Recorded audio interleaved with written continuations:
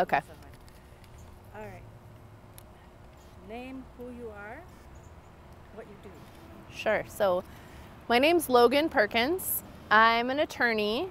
I do mostly criminal defense work with a passion for defending protesters and people arrested uh, in furtherance of social and political action goals. And part of the reason that's my passion is because that's what I did for 10 years before I went to law school. This one closer.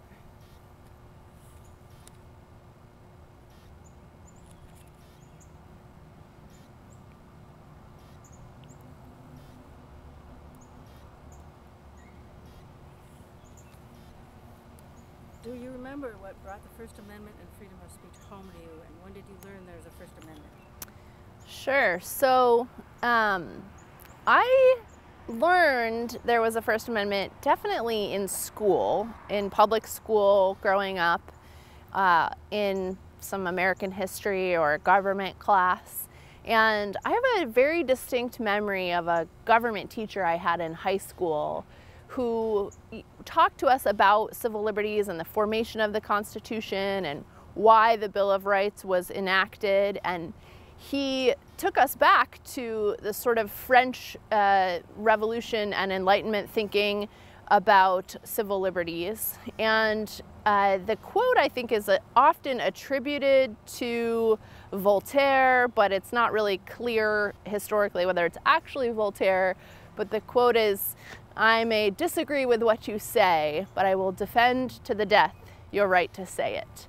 And that principle of the free exchange of ideas and intellectual thought and discourse and dispute even um, really resonated for me. It was something I grew up with and my family dinner table often was characterized by discourse, put politely.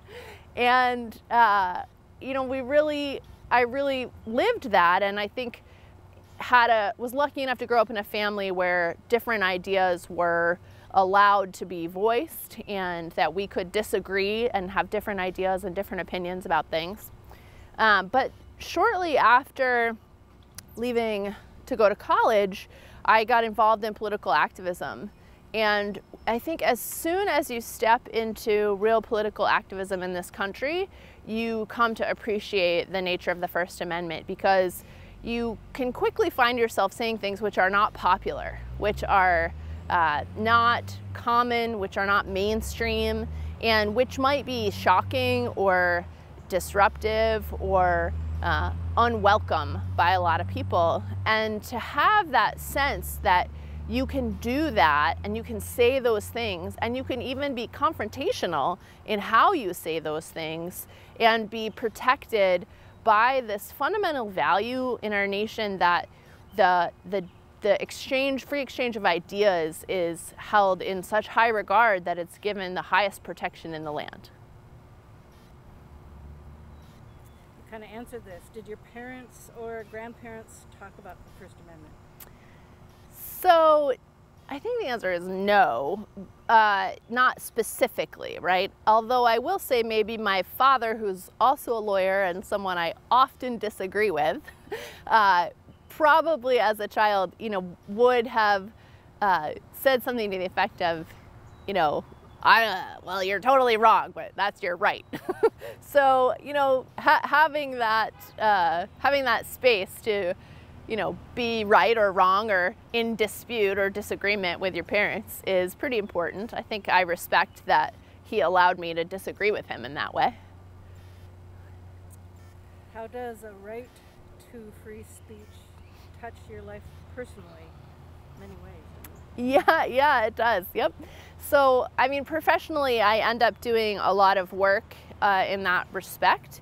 That I do a lot of work where I am evaluating and uh, reviewing and attempting to hold the government accountable for maintaining that ideal and uh, trying to be the person who interfaces between the right that all people have and the power of the government, which has a tendency to uh, creep up on or infringe upon that right, and to stand between uh, that and to try to make a space for the people to exercise their right and be free from government interference as they do so.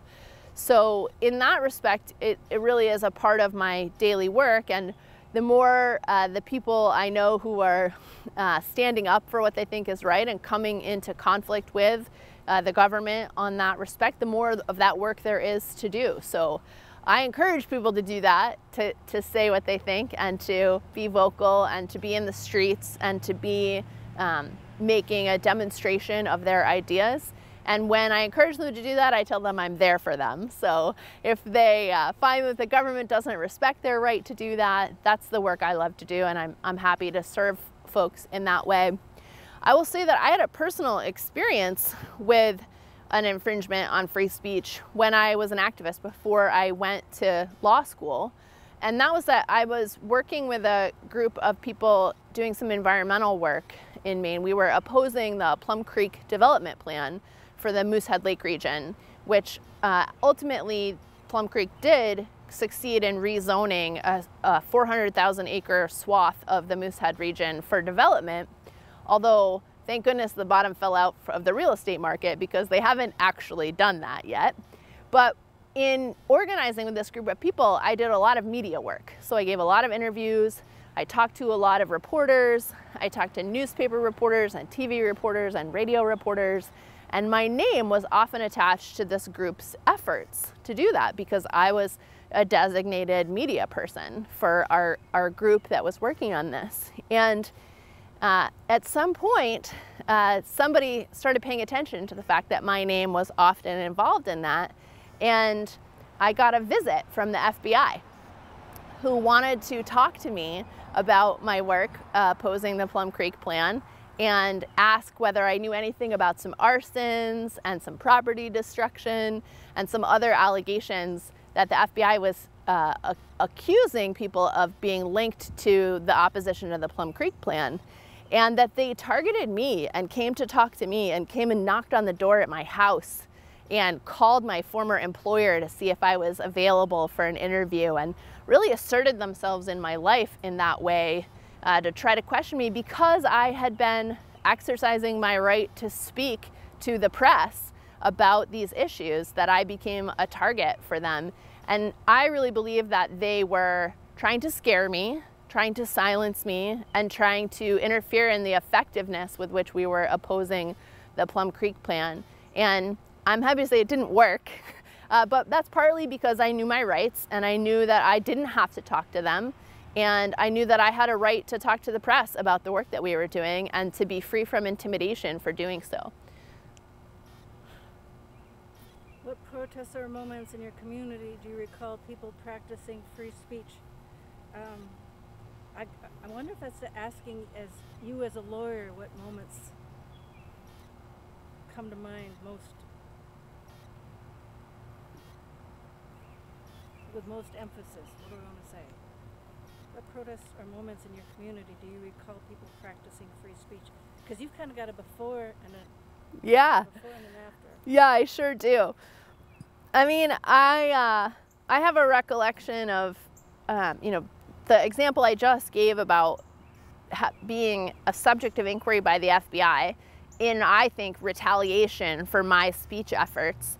But I also um, have had this experience as an attorney working with people who are uh, striving for social change where the police are very clearly treating them differently because of their message because of the reason they're there, because of what they're saying or what they're trying to do or what they're trying to change or accomplish in the world, they're being treated differently than the average bystander. And that is fundamentally so uh, abhorrent to the First Amendment and to the right to free expression that all Americans should cherish in their hearts and in their spirits and in their minds that I I see that happening and I feel so enraged at law enforcement overstepping. I expect law enforcement to be champions of the Constitution, not be violating the Constitution by infringing on people's free speech. So, a good recent example of that is a case we tried in February where I represented three defendants out of nine or eight who were arrested outside of Bath Iron Works at a situation where there was a christening of a warship happening, and my clients, among others, were um, there to try to show all the dignitaries and the politicians and these fancy people who were attending this celebration of our, our power of destruction and war making ability that there was something else we could be doing with this important economic engine in the Bath region. So my clients were there, they were completely nonviolent, they were very peaceful, but they were really trying to position themselves physically in a space where they could convey their message effectively to, I might say, our senators and our con Congress people who were going to this christening.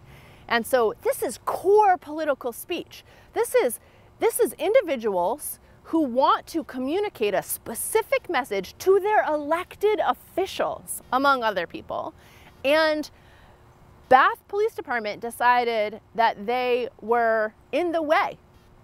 And you can take that to mean whatever you want, whether they were physically in the way, whether they were in the way because they were raining on the parade that day of the celebration of bombs and guns and warships that the government wanted to be putting forward and celebrating our, our capacity to blow up half the planet if we choose to, or because they were they're saying something, speaking truth to power, or criticizing the status quo in a way that might make people uncomfortable.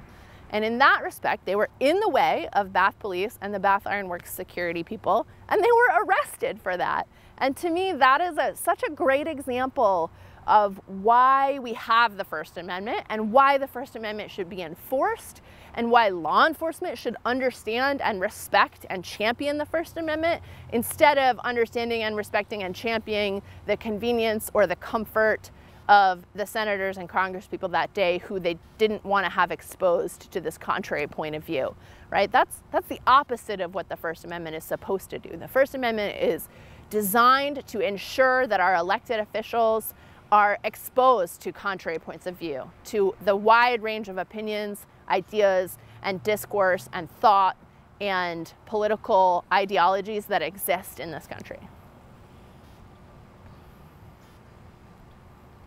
You said this was going to be short. You didn't know.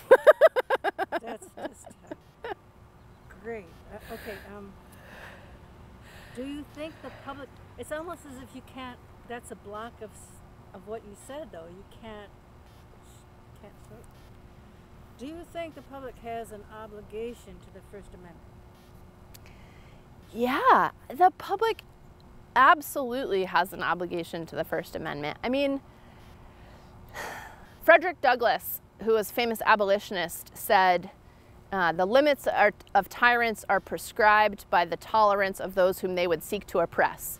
I'm paraphrasing a little bit, but it's that close.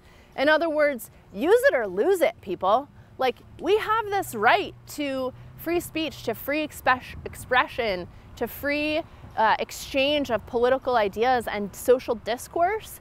And if we don't use it, we're going to lose it. And that is, I think, so critical to in our modern world that we have to continue to speak up. We have to continue to uh, disagree. We have to continue to object, to protest, to vocalize our, our disagreements and our disapproval of the status quo uh, or of the way of the decisions of our elected officials or of the way things are proceeding. We have to be able to criticize that. And if we don't, I'm, I'm deeply concerned that the trend in this country is to, to criminalize or to dismiss or to shame those who speak up. And I think the NFL protests are a great example of that. The Take a Knee movement and that the NFL now in response to pressure from the federal government has said that they're not going to allow protesters to take a knee during the national they're not going to allow players to take a knee during the national anthem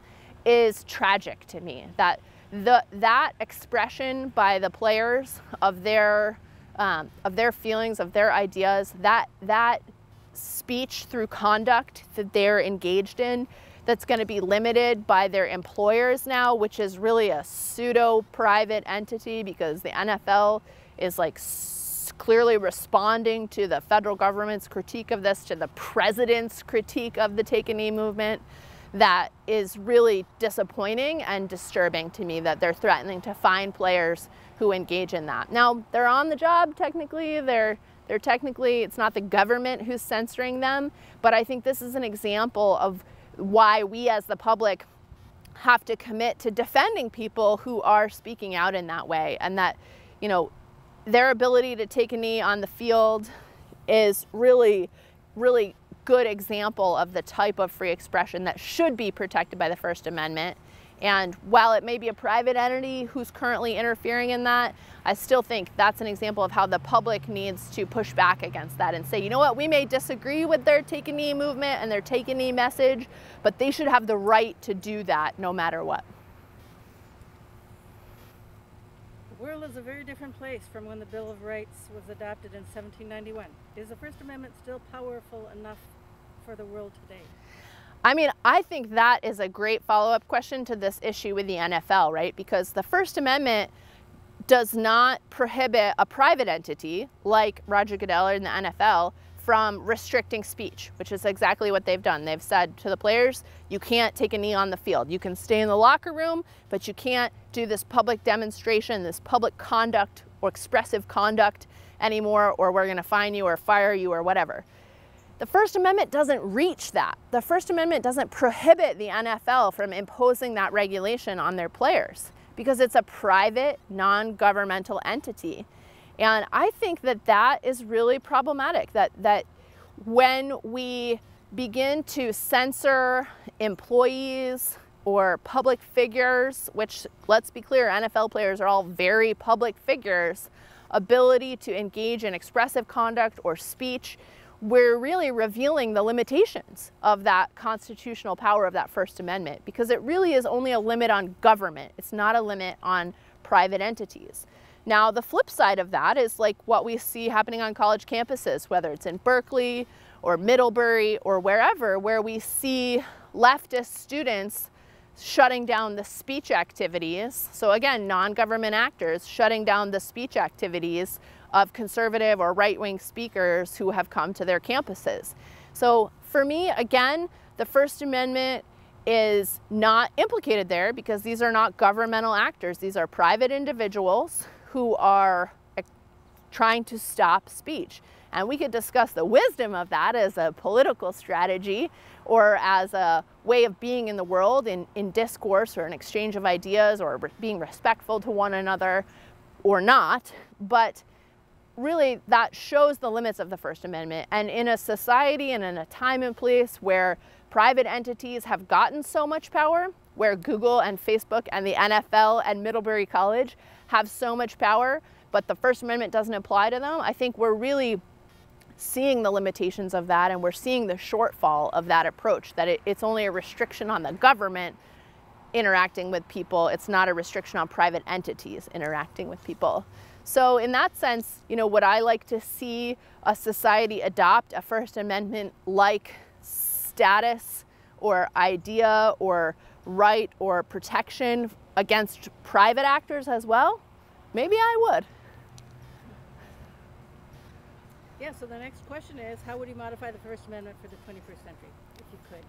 Yeah, so I mean, I think fundamentally it's not about modifying the First Amendment because the First Amendment itself is limited to protections from the government. And that is hugely important, right? Let, don't get me wrong. We have to be protected from government entities that would seek to silence dissent. That is fundamental to a free and democratic society. But the, some of the conflicts we're seeing with respect to free speech and free expression today really have to do with private entities restricting free speech and free expression. So is that a change to the First Amendment? No. Is it a change in how we as a society think about the importance of the free exchange of ideas and discourse and uh, dissent? Yes. So for me, it's not about rewriting or changing the First Amendment. It's about a societal shift in our thinking about how we relate to disagreement, dissent, and political discourse. Should there be some kinds of things that people should not say? I think this is such a hard question and is a really personal, um, the, the answer is really personal and, and individual for everyone. You know, do I think the government should be able to restrict people from saying certain things? Is a different question, but the classic example, like, should you be allowed to yell fire in a movie theater, right? Like, no, you shouldn't be allowed to panic people and cause a, you know, extreme reaction or a public danger in this way. But should you be allowed to say, we have the right to overthrow the government and we should get on that? Yes, we should be allowed to say that, right? So the problem with the, the, the legal doctrines that parse out what the limits are on free speech uh, are that they involve line drawing, and those are subjective processes, right? So, is it cleaner to say, you know, the government cannot restrict speech? Sure, but in reality, you know, there are things you can't say, and and really things you can't do, which is maybe the more important thing. That, you know, sticks and stones and all that. Is there such a thing as a spirit of the First Amendment? Whatever that means. Yeah. I mean, I, th- I think so. I mean, yeah, I think the right to dissent, you know, I think Thomas Jefferson is, is famous for saying, you know, the people ought to overthrow the government anytime the government ceases to meet their needs. So I think that might be the spirit of the First Amendment. that in order to do that, in order to periodically overthrow the government, we really have to be able to talk about it. Do you benefit from free speech? I mean, absolutely, right? I'm not in jail right now. I certainly oppose the government and I'm not shy about saying it, and they haven't locked me up yet. Um, okay, we're almost done. This was uh, kind of the second part of their, their panel of questions, and that is at the end of the Free Speech Week, they're going to have a panel of experts. I don't know who they are. Um, do you have any questions that you might ask of those experts? No. I'm good. Yeah. okay. Any anything else? Anything else? Let me let me restart this. So if you have any other commentary from Mainers in specific.